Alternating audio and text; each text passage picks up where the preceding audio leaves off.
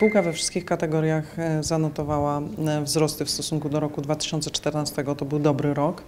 Można powiedzieć, że byliśmy zgodni z konsensusem E, i to bardzo cieszy. Natomiast, natomiast tak jak w pewnym momencie powiedzieliśmy, ten rok też uważamy, że będzie rokiem e, dobrym. E, Nie mogliśmy oczywiście powiedzieć, jakim wynikiem przewidujemy, że się zakończy, dlatego pojawiło się takie stwierdzenie, e, że zakończy się wynikiem dodatnim. Natomiast to należy czytać w ten sposób, że tak jak nie spodziewaliśmy się niespodzianek dużych, ani ujemnych, ani dodatnich na koniec ubiegłego roku, co jest zgodne z naszą strategią, tak też powinno być w tym roku. Ten rok zresztą to będzie rok bardzo dużej kontraktacji na Jaworznie ten i przyszły rok to są, to są, takie, to są takie lata pod hasłem Jaworzno, e, więc e, to powinien być też rok dla grupy dobry i musimy go wykorzystać na pozyskiwanie nowych, nowych zleceń już dla Rafako jako Rafako, albo też dla naszej nowej, właściwie nowej starej spółki, czyli Rafako Engineering, która bardzo mocno zamierza rozwijać się w obszarach serwisowych. Cały czas ofertujemy tematy z obszaru ochrony środowiska, chociażby w Polsce. E, Jesteśmy też w negocjacjach dużych tematów e, zagranicznych. I te tematy zagraniczne to są tak naprawdę zadania, które już e, w zeszłym roku były gdzieś tam na, na naszym horyzoncie. Natomiast one się niestety, tak jak wszystkie tematy w energetyce, bez względu na kraj, one się po prostu przedłużają.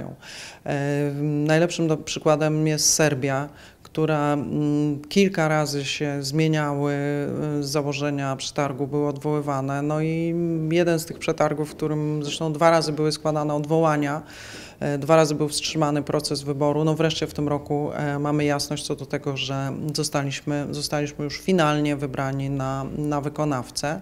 E, Zresztą w tym roku już pozyskaliśmy blisko 90 milionów nowych zleceń, co, co też jest istotne, dlatego że ta kontraktacja cały czas gdzieś tam jest realizowana. Ona może, to nie są bardzo duże tematy. Ostatnim dużym takim tematem, który pozyskaliśmy, to był Białystok, odsiarczanie w Białymstoku. Natomiast cały czas, tak jak mówię, ofertujemy tematy z obszaru ochrony środowiska.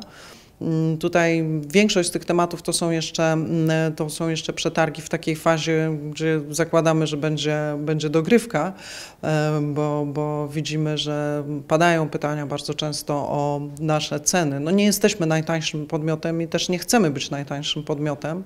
Z reguły w tych przetargach finalna ocena, czyli finalna punktacja zależy nie tylko od ceny, ale, ale też od y, technologii, która, która jest zastosowana i tutaj chcemy, żeby ta nasza technologia była właśnie odpowiednio wyceniana, tak żeby nie y, rezygnować z tych założeń, z tych celów strategicznych, które, które przyjęliśmy, uzyskiwania po prostu marsz na pewnym minimalnym poziomie.